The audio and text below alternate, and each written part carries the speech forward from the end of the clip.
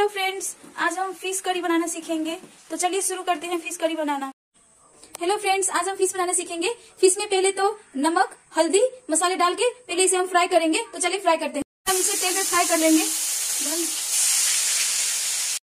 और ये फ़िश हमारा ब्राउन हो चुका है तो इसे हम प्लेट में निकाल लेंगे।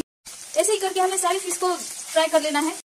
थोड़ा एक्स्ट्रा क्रिस्पीनेस के लिए मैं इसमें थोड़ा सा मैदा ऐड करें, जिससे कि हम फ्राई करेंगे तो थोड़ा क्रिस्पीनेस ज़्यादा होगा।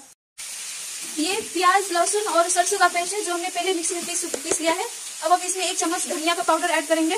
फिर हम इसमें एक चुटकी के लगभग मिर्चाई का पाउडर ऐड करेंगे। हाफ़ चम्मच के जितना इसमें हल्दी ऐड करेंगे। अब हमने हमारा सारा फ़िश फ्राई हो चुका है। अब हम इस फ्राइंग पैन में सरसों ऐड छोटा चम्मच हम इसमें सरसों ऐड करेंगे। फिर हम इसमें कटा हुआ टमाटर ऐड करेंगे। फिर इसे थोड़ी फ्राई करेंगे। इसमें हम थोड़ा नमक ऐड करेंगे जल्दी गल जाए। पेस्ट ऐड करेंगे। इसे भी हम थोड़ी देर जब तक ये पूरी तरीके से ब्राउन ना हो जाए, तब तक हमें इसे बहुत अच्छे से भून लेना है। हमारा मसाला फ्राई हो चुका है, अब हम इसमें पानी ऐड करेंगे। ये एक लोटा पानी हम ऐड करेंगे इसमें। फिर हम इसे थोड़ी देर के लिए, पाँच मिनट के लगभग हम इसे पकने देंगे।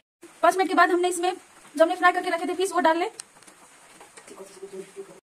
इसे एक दो मिनट तक इसे रहने दें, फिर गैस का फ्लेम ऑफ़ कर अब हमारा ये जो फ़िश है, वो रेडी हो चुका है सॉफ्ट के लिए। सो गर्मा गर्म परोसे और ऐसे ही वीडियो देखने के लिए please like and subscribe to my channel thank you